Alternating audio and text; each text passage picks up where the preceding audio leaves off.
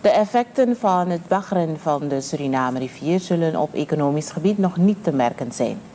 Dit stelde minister Rishma Kuldeep Singh van Economische Zaken, Ondernemerschap en Technologische Innovatie vorige week tegenover journalisten. Volgens de bewindsvrouw zullen pas wat effecten meetbaar zijn nadat de prijzen voor containers in het buitenland gedaald zijn. Als u goed kunt herinneren, heb ik dit ergens in november en december heb ik het gezegd.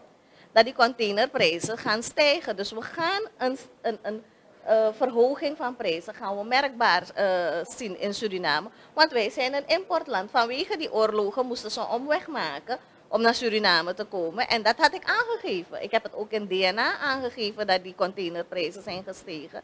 Um, er moet ook een baggerfee worden betaald. Dus um, we gaan, kijk, langzamerhand gaan we de vruchten ervan plukken. Maar nu nog, uh, de prijzen in het buitenland zijn heel erg hoog, de containerprijzen.